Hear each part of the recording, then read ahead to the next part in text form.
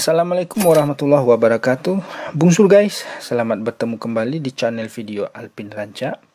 Di video kali ini Alpin Ranca ingin membagikan cerita tentang bule Perancis Yang bercerita atau berpidato dalam berbahasa Indonesia. Yuk ditonton guys, selamat menyaksikan. Kita 100 meter dari sini. Iya, kadang-kadang nama-nama jalan memungkinkan terjadinya berbagai pertemuan yang mustahil karena anakronis. Kalau kita sekarang meninggalkan jalan-jalan raya untuk masuk ke daerah permukiman, kalau kita menempuh jalan kecil sehingga memasuki lorong yang paling sempit, keragaman nama-nama jalan sepertinya bertambah lagi. Ada yang berkaitan dengan agama, dengan berbagai aspek budaya atau kegiatan sehari-hari. Terdapat pula banyak jalan yang namanya merujuk kepada nilai-nilai moral atau estetik, seperti gang ikhlas, gang bersuka elok, atau gang perdamaian. Nama-nama jalan yang melukiskan gambar sebuah tempat permukiman impian. Saat menjalani gang-gang itu, saya berkata dalam hati, masa kalau nama-nama jalan memang mencerminkan sikap masyarakat setempat, saya segera pindah ke sini. atau atau mungkin nama-nama yang enak didengar itu seperti mantra yang bertujuan mengubah kenyataan menjadi lebih indah. Jika kita terus berjalan-jalan di tengah kota-kota Indonesia, kita pasti akan menemui satu tipe nama jalan yang rupanya sangat populer, yaitu buah-buahan, sayur-sayuran, dan segala macam makanan lain. Alangkah banyaknya. Jalan mangga, ada mangga besar, dan seandainya mangga tersebut tidak cukup besar, juga ada mangga dua, dan jangan kelaparan.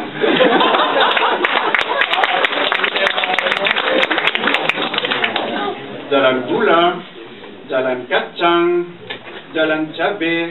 Eh, kalau gulanya merah dan cabenya cukup pedas, ayo kita langsung bikin rujak.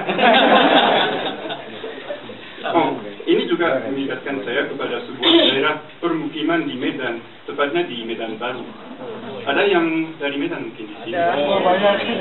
Tepatnya di Medan Baru, Kelurahan Darat. Di sana terdapat jalan tomat, jalan bawang, dan jalan terong.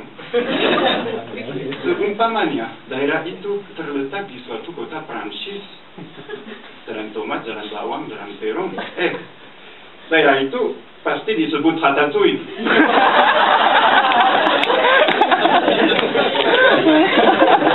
Iya, iya.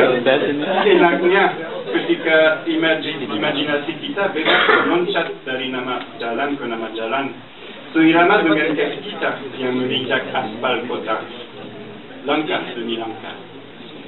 Para hadirin sekalian, kini saya ingin mengutip sebagian dari sebuah sonet yang dikarang oleh penyair Prancis Charles Baudelaire yang berjudul Perimbangan, bahasa Prancisnya Correspondance. Kutipan ini berdasarkan sebuah terjemahan oleh Wim Karjo, seorang penyair Indonesia yang menurut saya luar biasa dan juga pecinta bahasa dan budaya Prancis. Alam adalah kuil di mana pilar-pilar yang hidup kadangkala mengumandangkan omongan-omongan balau. Manusia lalu di sana menyeberang hutan lambang yang menetapnya, menetapnya dengan pandangan akrab. Ya, bagi imajinasi kita, ruang kota juga merupakan semacam hutan lambang. Dari situlah kita mendapatkan kunci untuk memahami arti dan fungsi nama-nama jalan. Nama-nama itu adalah lambang, yaitu tanda yang menyatakan suatu hal atau mengandung maksud tertentu. Menurut definisi yang dapat dibaca dalam Kamus Besar Bahasa Indonesia. Ini serius sekali. Namun, keterangan ini belum dapat memuaskan rasa penasaran kita akan soal nama-nama jalan. Melainkan justru menimbulkan pertanyaan-pertanyaan baru. Kalau ada sesuatu yang dimaksud, apa maksudnya. Kemudian, siapa yang bermaksud menyampaikan maksud melalui nama-nama jalan. Terus, siapa lagi yang seharusnya menerima dan mengartikan maksud tersebut. Kita sebaiknya menghentikan langkah kita untuk memikirkan misteri ini. Bagaimana asal-usul nama-nama jalan? Apakah semua nama itu ditentukan oleh satu orang atau satu badan? dengan mengeluarkan peraturan atau undang-undang atau mungkin nama-nama itu adalah satu hal yang diwariskan dari turun-temurun. Jawabannya agak mudah ditemukan untuk nama-nama jalan yang uh, untuk nama-nama jalan besar yang sering diilhami oleh peristiwa atau tokoh sejarah Indonesia. Nama-nama itu ditetapkan oleh Dinas Lalu Lintas dan Angkutan Jalan setempat Jikalau perlu diganti, entah apa alasannya, usulannya harus diterima oleh Dewan Perwakilan Rakyat setempat terlebih dahulu, lalu ditandatangani oleh wali kota. Usulan itu juga harus sesuai dengan aturan-aturan dari Tim Nasional Pembakuan Nama Rupa Bumi yang bekerja pada skala nasional di bawah pimpinan Kementerian Dalam Negeri Indonesia. Dengan demikian, nama-nama jalan raya dapat dianggap sebagai urusan pemerintah. Penamaan jalan tersebut pada umumnya bertujuan untuk memperingati peristiwa dan tokoh sejarah serta menanamkan wawasan bangsa dalam ruang setiap kota di Nusantara. Namun, kalau kita menoleh ke jalan kecil atau ke lorong-lorong, misterinya jauh lebih dalam dan lebih majemuk kan? Siapa yang memutuskan untuk menamakan jalan ini jalan tomat, jalan itu jalan bawang, gang itu gang setia, kalau gang tidak setia bagaimana? Gangnya tetap ada celing kan?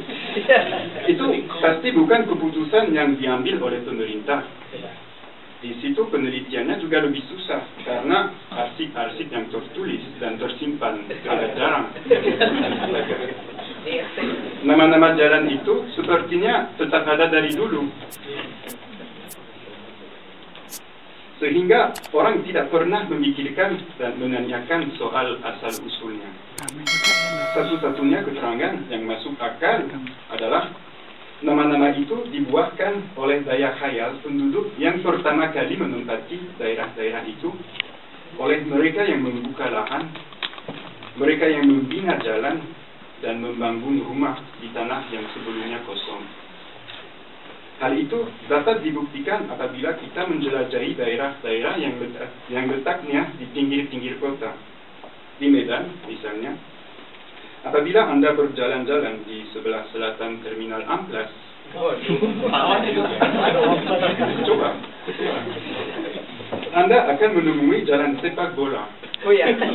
lalu jalan Arseto, kalau di antara para hadirin ada yang tertarik pada dunia sepak sepak bola Indonesia, pasti ada kan? Pasti. Anda pasti masih ingat akan Arseto yang merupakan satu tim sepak bola dari Solo yang dulu sempat bermain di Galatama pada tahun 90-an. Dengan demikian, kemungkinan besar nama-nama itu dipilih berkat pengaruh dari beberapa fans sepak bola bukan dari pemerintah, dari beberapa kan sepak bola. Itu saja.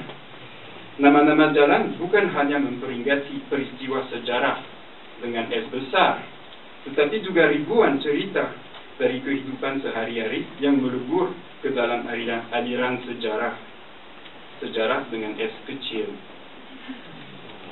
Sekarang, pertanyaan terakhir adalah kepada siapa makna yang dikandung dalam nama-nama jalan ditujukan dan apakah makna itu tetap bertahan dari masa ke masa.